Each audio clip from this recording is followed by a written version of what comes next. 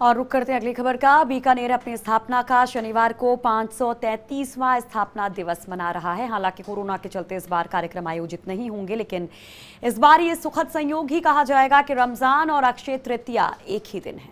धर्मगुरुओं और मौलवियों ने घर पर रहकर ही प्रार्थना की अपील की है। रसगुल्लों की मिठास और भुजिया के तीखेपन के लिए जाने जाने वाला शहर बीकानेर कई मायनों में खास है।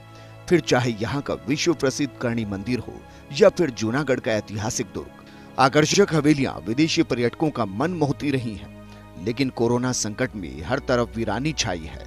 533वीं स्थापना दिवस पर इस बार वो काटा वो मारा सुनने को नहीं मिलेगा। आसमान में पतंगों के पेच नहीं लड़ेंगे। सालों से बनते आ रहे चंदे बने ज़रूर हैं। लेकिन इन पर भी इस बार कोरोना से बचने के संदेश ही उकेरे गए हैं। कितने सालों के इतिहास में पहली बार ऐसा हुआ है कि रोज़े भी शुरू हो रहे हैं और बीकानेर अपने स्थापना दिवस भी मना रहा है। ये बड़ी ज़िम्मेदारी है। हमारे बीकानेर के गंगा जमुनी तहजीब जो हमें ये सिखाती है कि आपसी प्रेम, भाईचारा ही सब कुछ है और यही देखने में आ रहा है कि सभी बड़े लोग पुजारी ये लोगों को कह रहे हैं कि ये जो धार्मिक अनुष्ठान है ये घर में किए जाएँ। वहीं हम बीकानेर की मस्जिदों से मुअज्जिन ये लोगों को सीख दे रहे हैं कि जुमे की नमाज़ हो चाहे रोज़ों की नमाज़ वो घर पे अता करें। और यही भाईचारा ये कायम रहेगा क्योंकि कोरोना अभी है फिर चला जाएगा लेकिन हमारा शहर फिर से खिल उठेगी। आ, मीठी मिश्री रो ठिकानों केसर भरियो मखाणो बीके रे हटसू हुई थरपणा वो शहर है हमारो बीकाणो। हालाँकि स्थापना दिवस पर कलेक्टर कुमार पाल ने बीकानेर के लोगों की ज़िंदा दिली, प्रेम और सौहार्द की तारीफ़ करते हुए बधाई दी। धर्म गुरुओं के साथ कलेक्टर ने बैठक कर अपील भी की कि कोरोना के मद्देनजर एहतियात बरती जाए। दोनों धर्म के लोग समझते हैं कि जीवन के लिए एहतियात बरतना ज़रूरी है।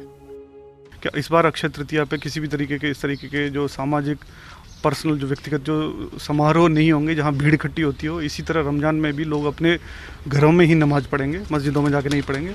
दोनों समुदायों के धर्मगुरुओं ने भी इसमें अपनी सहमति व्यक्त की है और इसकी पालना भी कठोरता से कराई जाएगी। हिंदू पंडित और मुस्लिम धर्मगुरु भी कलेक्टर की अपील से सहमत नज़र आते हैं। वो भी अपने अनुयायियों से घर पर रहकर इबादत पूजा प्रार्थना करने की अपील करते हैं।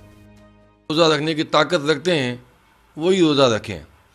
क्योंकि अल्लाह ताला कुरान पाक में साथ फरमाता है, फमन कान मिनकुम मरीदन अला सफ़र फ़ायदतमिन अय्यामिन उखर।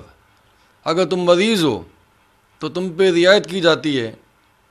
तो इस वक्त, इस माहौल को देखते हुए जो बीमार आदमी है, जो बुज़ुर्ग आदमी है, बूढ़े आदमी है, वो रोज़ा रखने से परहेज करे और इसका कफ़ार अदा कर दें। इस जगह एकत्रित होकर पतंगबाजी ना करें।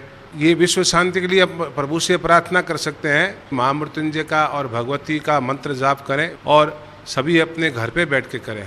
कोई मंदिरों में या अलग स्थानों पर बैठ के न करें। हालाँकि अभिलेखागार के निदेशक डॉक्टर महेंद्र खड़गावत कहते हैं कि बीकानेर में 1918 के आसपास कोलेरा चिकन पॉक्स जैसी बीमारियों से साठ हज़ार से ज़्यादा लोगों की मौत हुई थी।